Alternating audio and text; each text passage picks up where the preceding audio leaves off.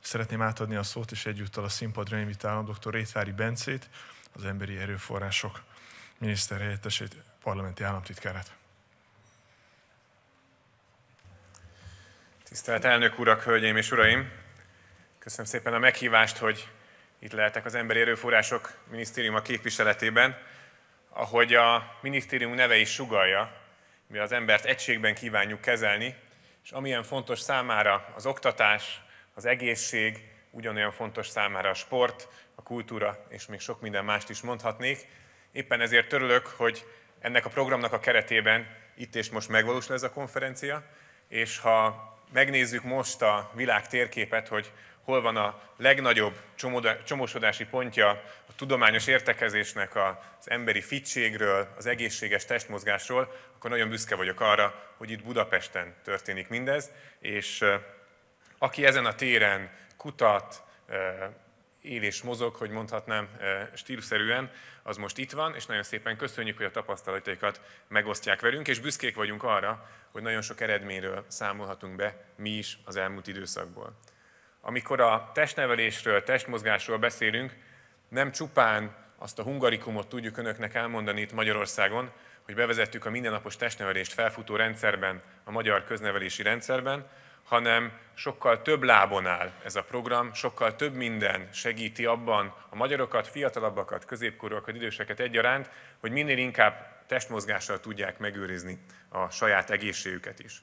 Mindamellett, hogy elindítottuk a felmenő rendszerű mindennapos testnevelést az iskolákban, nyilván ez azt a szükségletet is előhozza, hogy egyre több tornateremre, tornacsarnokra, vagy pedig úszodára van szükség. Éppen ezért a mindennapos testnevelés bevezetésével párhuzamosan elindítottunk egy országos, évről évre sok-sok milliárd forintos támogatást élvező tornaterem, tanúszoda, tanterem építési programot, amiből biztosítjuk azokat az új tantermeket, öltözőket, ahol a fiatalok mozogni tudnak, vagy át tudnak öltözni, vagy le tudnak tusolni az óra után. Nagyon fontosnak tartjuk azt is, hogy minél több olyan hely épüljön, minél több látványcsapat sportákban legyenek olyan stadionok, kisebb vagy nagyobb versenyek megrendezésére alkalmas helyszínek, ahol szintén azok, akik a sportolást már versenyszerűen űzik, ők is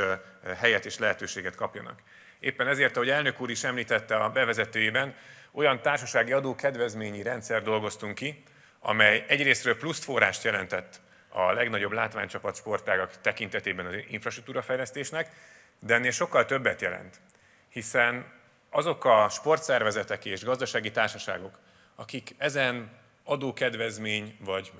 adóból nyújtható támogatási lehetőség révén összekapcsolódnak, ők nyilván nem csak évente egyszer a társasági adóbevallás kapcsán találkoznak, hanem azon túlmenően egyre szorosabb kapcsolataik alakulnak ki. Az egyes versenyekre elhívják a gazdasági társaságok vezetőit, más téren is együttműködésre állapodnak meg, másfajta támogatásokat is kaphatnak a különböző vállalkozóktól. Ezért mi úgy gondoljuk, hogy ez a társadalom szövetét is szorosabbá teszi, és hosszú távon is olyan kapcsolatot alakít ki, amely a Magyarországon sajnos a történelmi okokból ki nem alakult sport mecenatúrának egy teljesen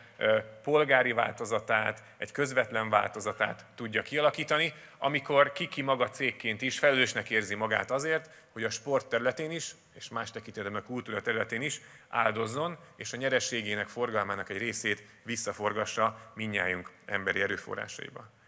Fontos nem csak ez a tanácskozás olyan szempontból, hogy tudományosan is haladjunk előre a mindennapos testnevelés, az épp testben épp lélek programja mentén, hanem erre idén szeptember 1-től egy önálló, most már egyetemi szintű testnevelési egyetem is szolgál Magyarországon. A kormány döntött erről a nyár folyamán, és a megfelelő fedezetet, anyagi támogatást is biztosította, hogy önálló testnevelési egyetem legyen az, ahol a kutatásoknak, a képzéseknek a leginkább kvalifikált része, a leginkább minőségi része megvalósul itt Magyarországon. Elhangzott, hogy a testmozgás egyúttal életmód kérdés is, és fontos, hogy az egészséges életmódnak más területein is igyekezzen a kormány segíteni az állampolgárait, akár hogyha a táplálkozás területét nézzük, Magyarországon a chipsadó bevezetésre igyekeztünk az embereket az egészségetlen táplálkozástól, amennyire lehet távol tartani, és ezt a forrást az egészségügybe átforgatni, vagy a dohányzás visszaszorítása érdekében többféle, akár áremelési, akár hozzáférés nehezítési eszközökkel értünk ahhoz, hogy Magyarországon csökkenjen a dohányzás mértéke is, és ez több mint 30%-kal sikerült is az elmúlt években. Ennyivel kevesebb dohány fogy Magyarországon, ennyien kevesebben károsítják a saját egészségüket, mint pár évvel ezelőtt. Ez egy komplex program tehát. Nem pusztán testnevelés órákról szól, nem pusztán iskolai kérdés, hanem az ember egészét, az emberi élettartam egészét, az életmódok sokféleségét igyekeztünk mi is megcélozni akkor, amikor ilyen programot alakítottunk ki. Elhangzott a bevezetőben, hogy a gondolat születik meg először, és utána valósulnak meg ezek az eredmények. Talán ők is emlékeznek arra a gondolat sorra, hogy a gondolatból lesz a szó, a szóból lesz a tett, a tettből lesz a szokás, és a szokásból lesz a jellem.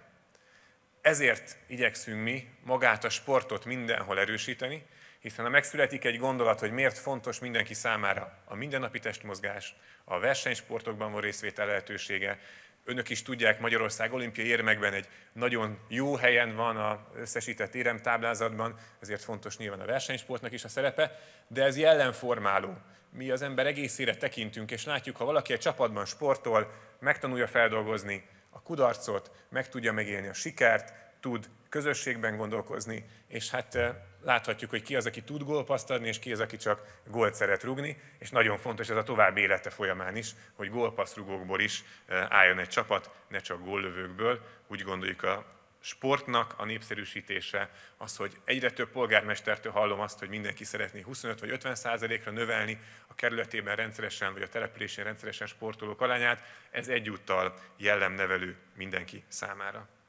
Ezért gratulálok én a szervezőknek ehhez a konferenciához, ezért gratulálok a TESI programhoz, ezért vagyok büszke arra, hogy Magyarországon ezt megvalósítjuk, ezért vagyok büszke arra, hogy ilyen sokan eljöttek és megosztják velünk a gondolataikat. Mi ezekből szeretnénk tanulni, hiszen ezt a programot is a kormányzat a legnagyobb diáksport szövetséggel együtt dolgozta ki, amelyik a 80-as évek másik fele óta működik Magyarországon, rengeteg testnevelő tanárral, több ezer tanárral együttműködve hajtja végre ezt a programot, mert úgy gondoljuk, hogy csak akkor leszünk sikeresek,